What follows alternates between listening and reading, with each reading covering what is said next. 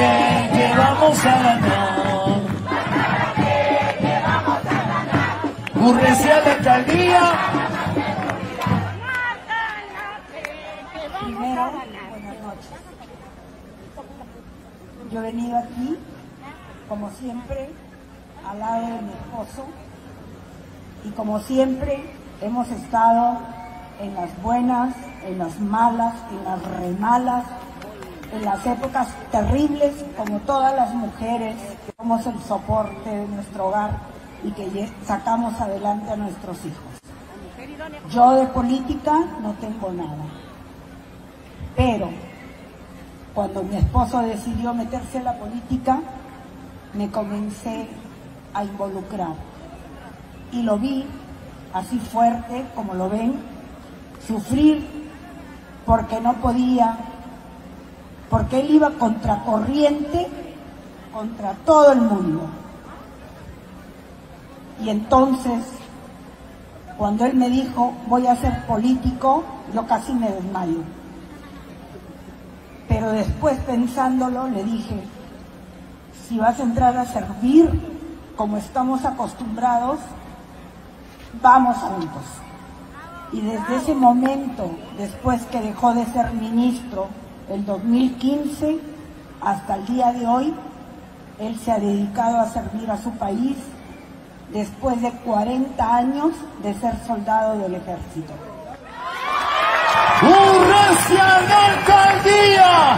Es.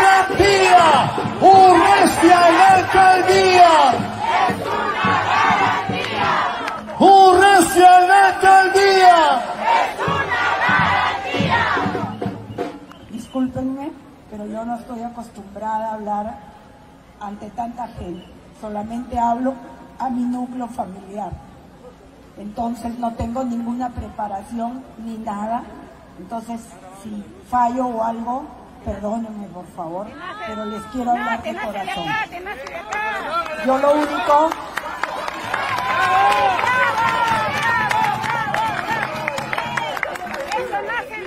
Yo lo único que quiero decirles a ustedes, vecinos de Lima Sur, sobre todo a todos los hombres, niños, pero jóvenes, adultos, pero sobre todo a todas las mujeres empoderadas como yo, que luchamos con un poquito presupuesto, gracias, que luchamos con un poquito presupuesto cuando empezamos a formar una familia.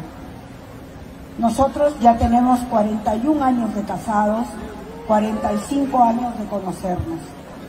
Peleas como todo el mundo, por dinero, porque cuando falta el dinero, eso nos conlleva a que siempre haya discusiones o cosas, pero nunca pasó a mayores. Pero el amor siempre ha existido. Entonces yo lo que les quiero decir a ustedes es que mi esposo, digan lo que digan, yo soy la que duermo con él, soy la que vivo con él.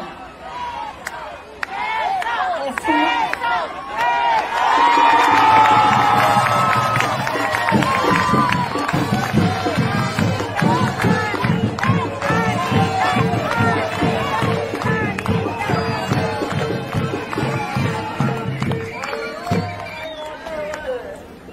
solamente es un hombre muy preparado, duela quien le duela.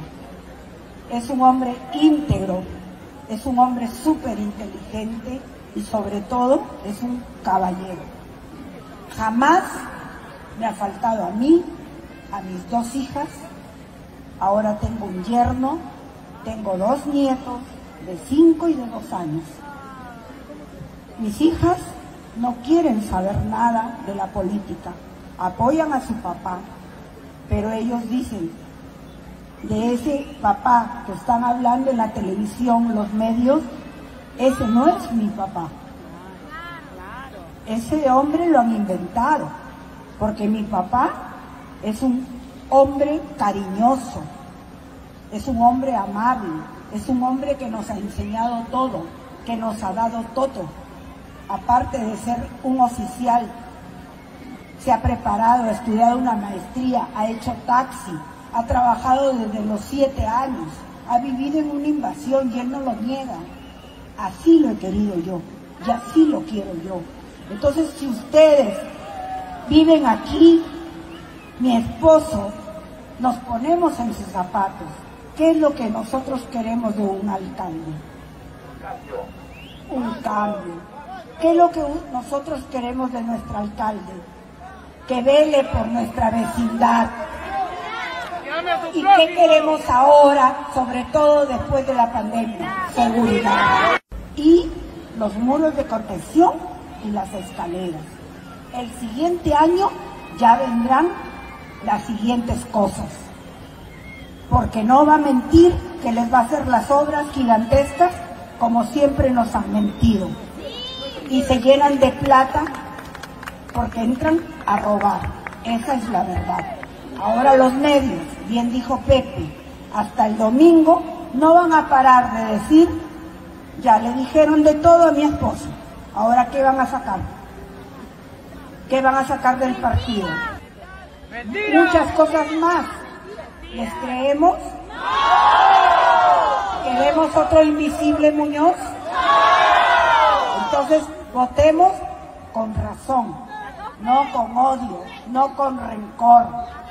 Votemos del corazón. Queremos un cambio. Nosotros, todos, nos merecemos un lugar mejor para vivir. Merecemos las mismas oportunidades que tenemos en la Miraflores, en la Molina, en, en Chosica, acá en El Salvador.